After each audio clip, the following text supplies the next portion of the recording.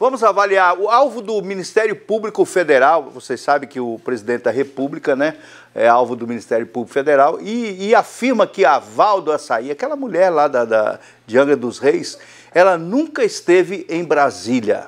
Nunca esteve mesmo, diz ele. Roda, por favor.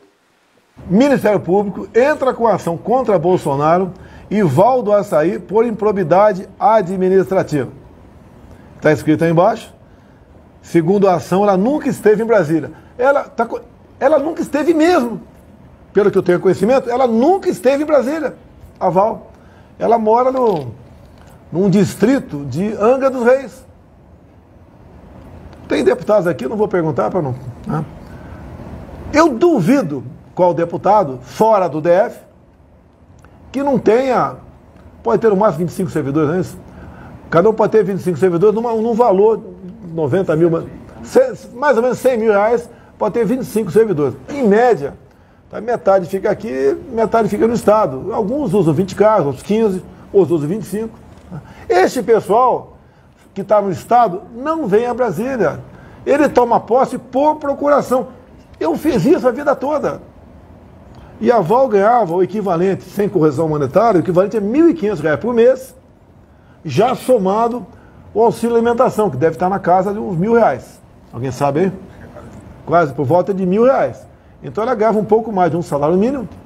Aí ficava lá na Vila Histórica de Mambucaba. E nunca esteve em Brasília. Estou confessando aqui, nunca teve.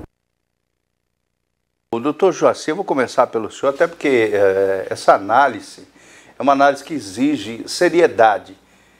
Se a gente for. Olha, gente, a exposição que essa mulher está tendo por causa de um salário de R$ 1.500 é, é brincadeira um negócio desse no Brasil. Vamos ser sinceros.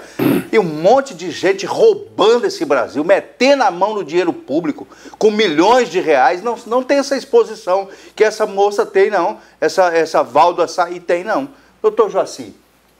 Eu também penso que, eu, assim, eu sou um cara muito não digo crítico, né?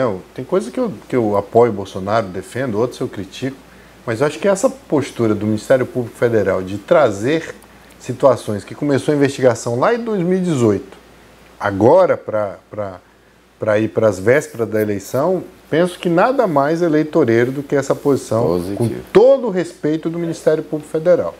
Por quê? Porque, ora, se está investigando desde 2018, será que não teve tempo suficiente de antes disso fazer o que está fazendo agora?